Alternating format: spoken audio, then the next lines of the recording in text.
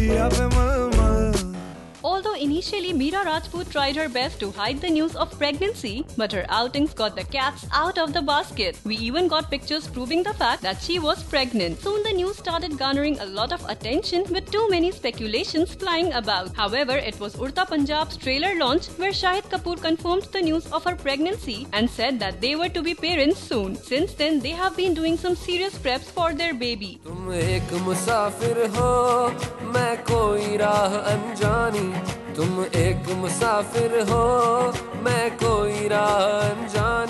Shahid is extremely caring and dedicated towards his wife, so much that he even ditched his upcoming movie's promotions so he could stay and take care of her. From long drives to dinner dates, a lot is happening between the couple. He looks extremely happy too nowadays. So when people ask him about the kind of prep he's been doing to welcome their kid, he said that right now it's all about the anticipation. He has been reading up on pregnancy and parenting on this really cool app that Mira downloaded for him.